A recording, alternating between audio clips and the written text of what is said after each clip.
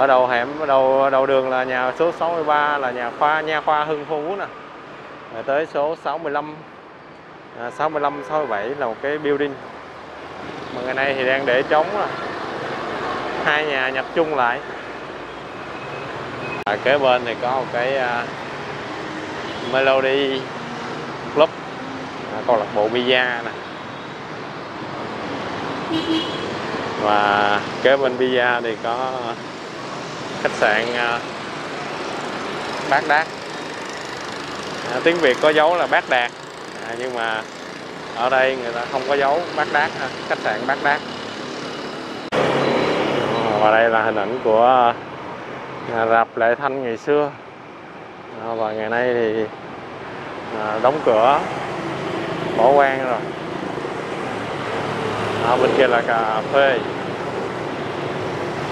à, cà phê ờ, đối diện với hẻm.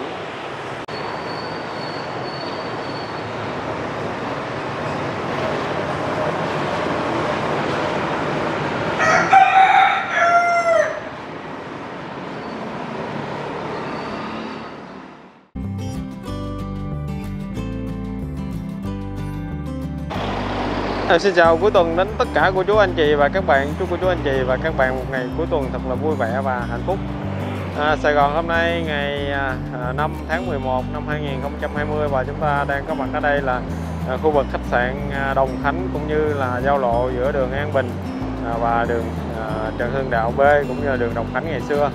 À, thẳng hướng An Bình này chúng ta sẽ đi ra à, khu vực đường à, Trần Phú cũng như là Nguyễn Hoàng. Nguyễn Hoàng ngày xưa à, nơi đó có ờ, rất là nhiều nhà tang lễ và ở đây có một cái bệnh viện à, bệnh viện An Bình. Một cái tên rất là ờ, yên bình bình an. À, và thẳng hướng Trần Hưng Đạo này à, chúng ta sẽ đi về à, chợ lớn chợ ờ, Ủa, chợ Sài Gòn à, quận nhất. Và bên cánh phải chúng ta có một cái hình ảnh của một cái chung cư cái cư xá rất là lớn rất là đẹp. Và ngày xưa mà ngày nay à, vẫn còn giữ nguyên cái nét kiến trúc của nó nè. À, ngay giao lộ à, Trần Hưng Đạo với An Bình nằm đối diện với à, à, khách sạn Đồng Khánh và à, trưa hôm nay thì à, em mời anh chị và các bạn à, chúng ta sẽ đi dạo quanh ở à, con đường Đồng Khánh này. À, rồi mình sẽ đi lang thang đi ngang qua hình ảnh à, đi ngang qua ngôi nhà của anh chị nhà số 65 Trần Hưng Đạo B à, cũng là đường Đồng Khánh ngày xưa. Và mình sẽ đi đến một cái hẻm ở uh, uh, gần với khách sạn Bát Đát ở quận 5 cái khu vực uh, rạp hát Lê Thanh Lệ Thanh. À, rồi chúng ta xuất phát ha. À, mấy ngày nay thì nói chung à, cả thế giới cũng như ba trăm mấy chục triệu người dân nước Mỹ cũng đang xôn xao về một cái sự kiện à, bầu cử ông tổng thống Mỹ. Không biết năm nay à, không biết đợt này ai sẽ là chủ ngôi nhà trắng này là một sự quyết định cho 4 năm một cái thời gian rất là dài. À, và không biết anh chị đang tâm đắc với một cái vị nào. À, nói chung ai cũng có một cái nét riêng. À, mà hy vọng là cái ờ, cái sự ờ, bầu chọn của anh chị được như ý ha. À, theo em thì em thấy đa phần đa phần là người ta đang hướng về ông Donald Trump.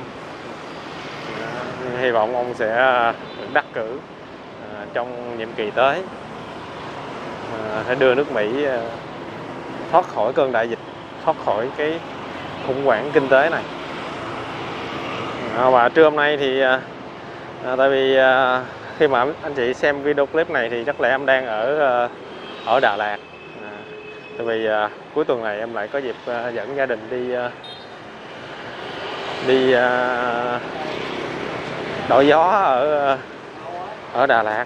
Nên thành ra à, chúng ta sẽ à, tạm chia tay Sài Gòn à, vài ngày ha nhưng mà video vẫn được up đều bình thường. À, trưa nay thì em tranh thủ đi một vòng rồi anh chị. À, trước mặt chúng ta đó là khu vực hẻm 36 36 Trần Bình Trọng. Ô 36 Trần Hưng Đạo. À, nơi đó có một cái à, chung cư. Cái cư xá. À, ở đây cũng có một cái dãy nhà theo kiểu kiến trúc ngày xưa nhưng mà à, ngày nay thì có một phần đã thay đổi. Ra bên kia là số à, số chẵn và phía bên chúng ta đang đứng đây. Là số lẻ nơi giao giữa đường à, Trần Hưng Đạo với lại à, Nguyễn Văn Đừng. Đường Nguyễn Văn Đừng bên đây đi thẳng hướng ra Hàm Tử.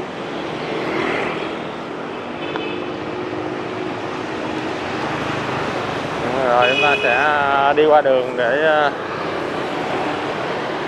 à, để mà nhìn bên kia cho rõ hơn về hình ảnh của căn nhà số ờ, 30 65 à, 65 Trần Hưng Đạo B. À, và cũng là à, Đồng Khánh ngày xưa.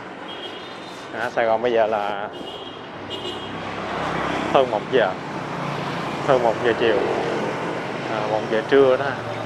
Hôm nay Sài Gòn nói chung ờ, nắng đẹp. Mình kia thấy ta thấy có một cái à, à dãy phố này à, rất là đẹp à, đồng kiến trúc. À, bắt đầu là số 43 45 rồi mình đi tới tí nữa thì sẽ có hẻm 55 à, mấy bữa thì em cũng có công việc đi vô hẻm 55 à, nhưng mà em không có quay phim không biết có à, anh chị nào ở ở hẻm 55 không?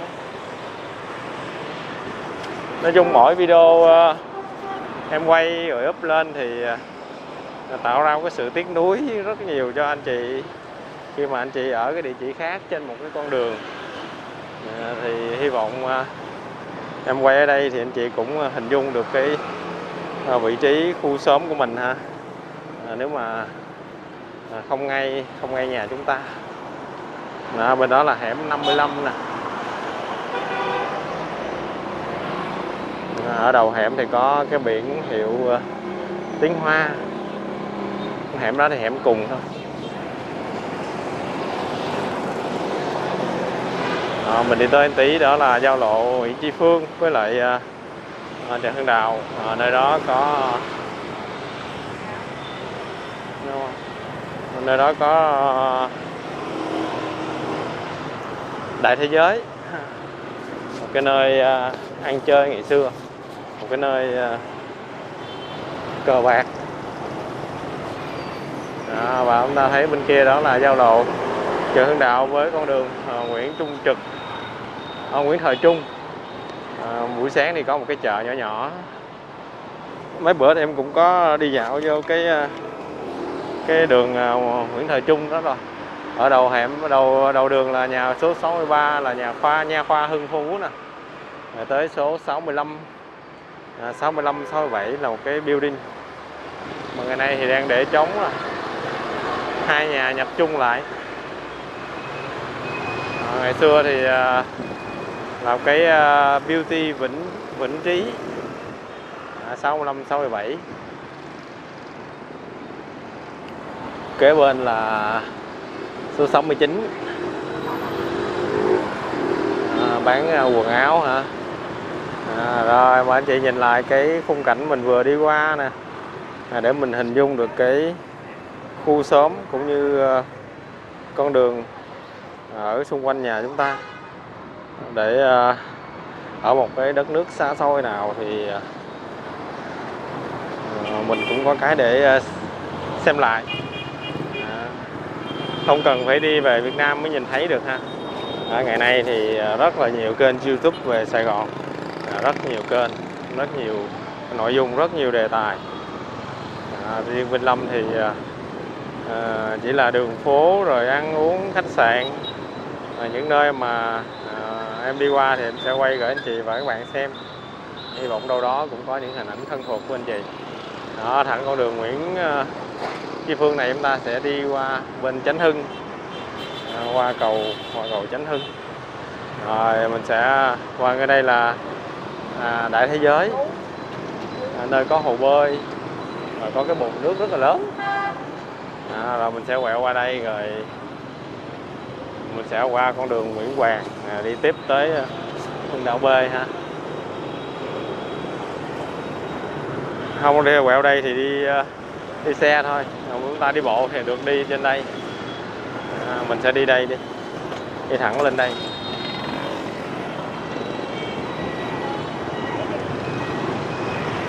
À, xe hơi bị nhiều nói chung ở ờ, ở Sài Gòn mà anh chị không có quen qua đường á, là mình đứng đó hoài luôn á. Tại vì mật độ xe cổ rất là đông.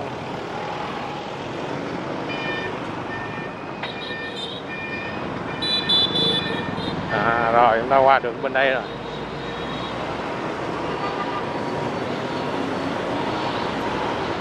À, nhìn thẳng lên kia đó là cầu Nguyễn Tri Phương à, đi qua bên à, à quận 8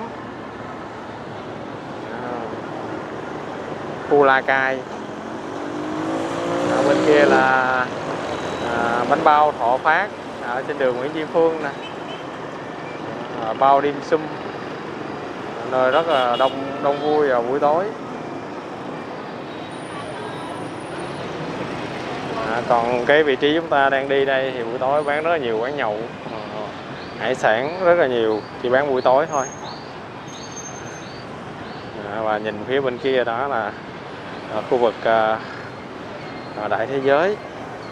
À, mình sẽ đi một đoạn nữa rồi sẽ đến khu vực của à, cái hẻm rất là quen thuộc của anh à, anh Hùng.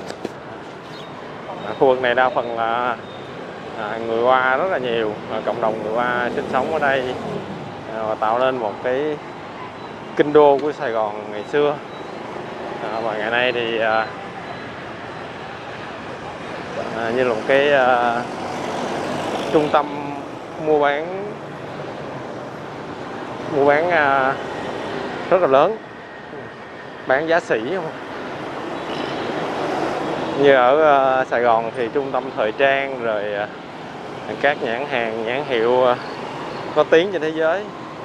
Còn ở ở chợ lớn thì nói chung thượng vàng hạ cám gì cũng có luôn. Đầy đủ hết. Đó, thấy ở phía sau ở đây có cái bồn nước rất là lớn nè.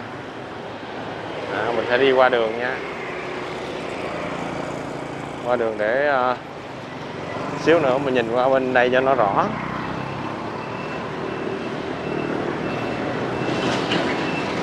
Đó, đó cái vùng nước thiệt là lớn. À, đại thế giới ngày nào à, nơi ăn chơi của các si thủ ngày xưa. À, chúng ta nhìn qua bên kia là con đường à, Nguyễn Hoàng à, rạp Hào Quê ngày xưa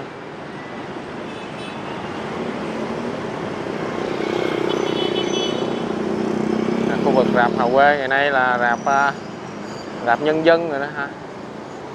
Đó, đoạn đường chúng ta vừa đi qua nè cái mũi tàu. Rồi chúng ta tiếp tục nha. À, bên đây là có cái hẻm 40 à, 418 đi thẳng ra Nguyễn Trãi. À, bên kia thì có chung cư xóm cải đó ở đây ngày trước rất là nổi tiếng. Ờ, về một cái ờ, dì ba bán cua. Rất là đông, rất là ờ, tấp nập. Mỗi ngày rất là nhiều các youtuber đến livestream rồi đằng sau sự nổi tiếng thì lại xảy ra rất là nhiều chuyện. Rồi giờ đây dì ba trở về cuộc sống bình thường. Không ồn ào ờ, không tấp nập cũng không thị phi như ngày xưa nữa. Cho nó nhẹ nhàng không cái gì cũng có cái giá của nó. À, lúc nào cũng vậy sự nổi tiếng luôn là con dao hai lưỡi.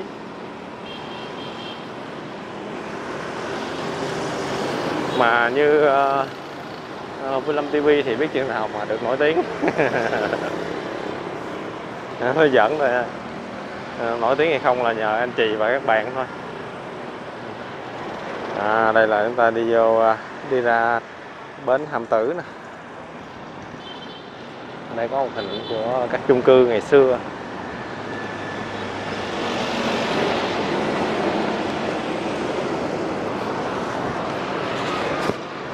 À, mình đi đây là sắp tới à, khu vực nhà hàng bát đát rồi đó. À, bên đây là con đường Trần Xuân Hòa. À, đi thẳng ra Nguyễn Trãi để đầu ở đầu đường ở đây. Bên đây thì có một cái nhà hàng cũng rất là nổi tiếng và rất là đông. Đó là nhà hàng Cửu Long. Quán ăn Cửu Long. Cửu Long quán. Ở bên đây chúng ta có thể nhìn thấy nè. Chỉ bán à, vào buổi chiều thôi. À, hôm nay mình sẽ thấy những hình ảnh ở Sài Gòn rất là rõ nè à, bên kia là công ty xây dựng Việt Hoa. À, dạo này ở ờ, ở Sài Gòn cũng như là ở ờ, các quốc gia khác thì chắc có lẽ rất là nhiều rất là nhiều cửa hàng rất là nhiều ờ, khách sạn phải nói lời chia tay đóng cửa cho thuê mặt bằng trả mặt bằng. Thậm chí bán luôn cả thương hiệu. Một cái đại dịch khủng khiếp ảnh hưởng toàn cầu. Nhưng mà hy vọng ờ, chúng ta sẽ ờ, vượt qua nó trong thời gian sớm nhất. Đó, và đây là con đường Ngô Quyền à, đi thẳng ra Sớm Chỉ cầu Sớm Chỉ ngày xưa. À, cầu Sớm Chỉ là ngay đường Tảng Đà chứ hả?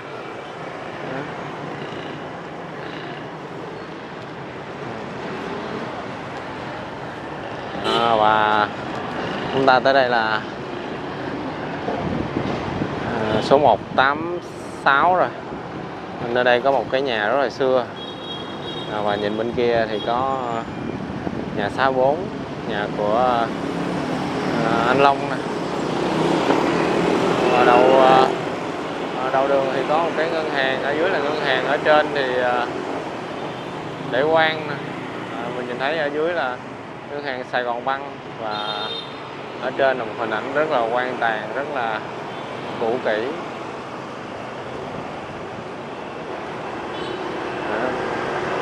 À, ngày xưa thì à, ở đường Đồng Khánh coi như là cái à, một con đường bậc nhất của Sài Gòn. À, nhưng mà thời nay thì nói chung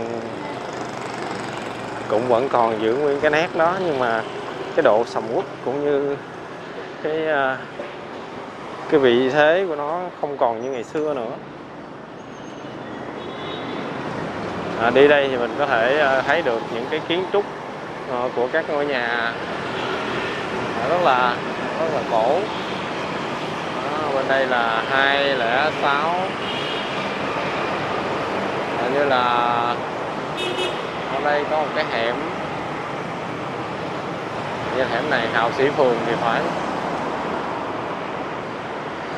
À, mấy mấy bữa trước mấy lúc trước thì em có đi vô ờ, vô khu Hào Sĩ Phường à, để ờ, ăn sáng rồi có quay, quay clip gửi anh chị. Cũng rất là lâu rồi chưa quay lại ha. Ở cuối hẻm Hào Sĩ Phường có cái quán mì cũng rất là ngon. À, đâu thấy những hình ảnh đóng cửa cho thuê nhà ở quận nhất cũng có mà chợ lớn cũng có. Thôi thôi ở đâu cũng vậy.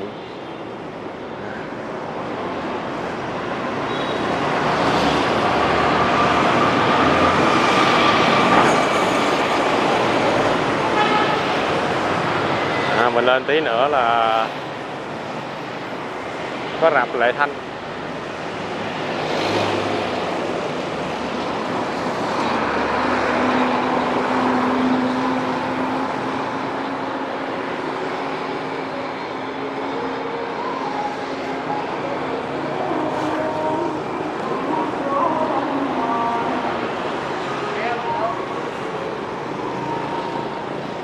em đang đi bộ quay phim mà ai cũng kêu đi xe. À, và đây là giao lộ Phan Phú Tiên. À, đi thẳng ra à, dòng kênh Tàu Hủ con đường Võ Văn Kiệt.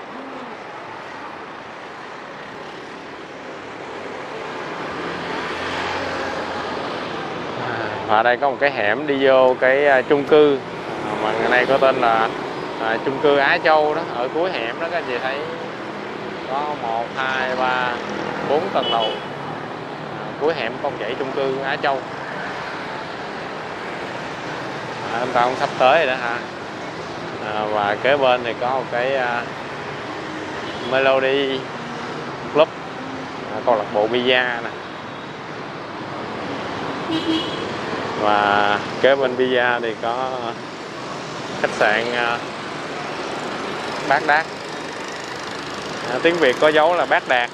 À, nhưng mà ở đây người ta không có dấu Bát Đát ha. khách sạn Bát Đát à, ở đó có một cái hẻm. À, đối diện hẻm nè. À, rồi chúng ta sẽ đi à, à đi vô hẻm ha. À, bên kia có một cái dãy phố cũng rất là à, rất là đẹp. Ừ. trời ơi rồi chúng ta qua đường à, qua đường ở cái chỗ này nguy hiểm quá. Mình lại cái vạch vạch trắng qua đường này.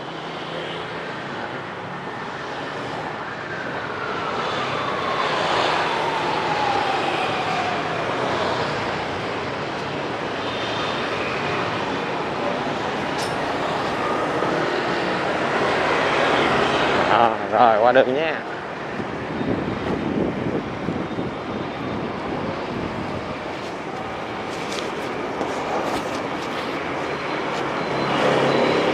và đây là hình ảnh của nhà rạp Lệ Thanh ngày xưa. À, và ngày nay thì à, đóng cửa bỏ quan rồi. À, bên kia là cà phê. À, cà phê à, đối diện với hẻm. À, không biết à, anh Hùng có nhận ra khu xóm này không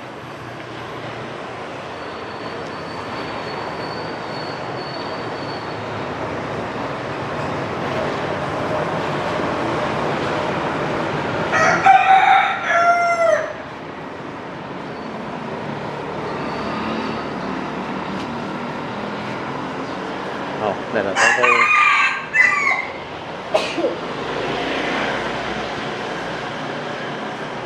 cái trạm điện. 1966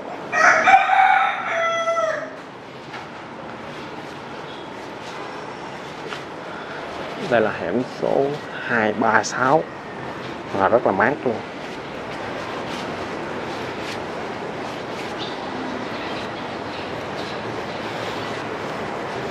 Và rất là mát và rất là yên tĩnh.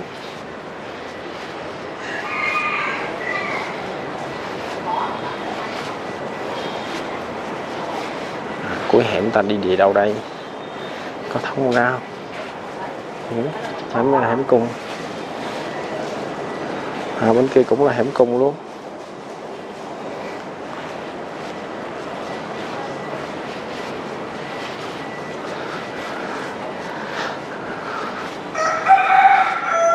À, không biết nhà người thân của anh Hùng là là nhà nào đây?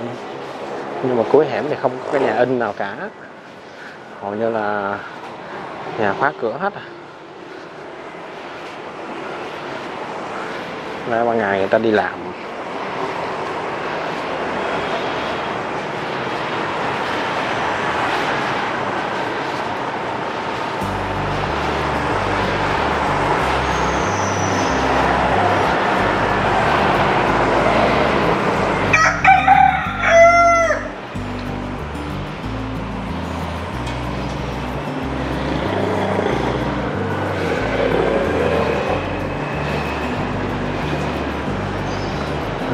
ra đây là đầu hẻm đây nè.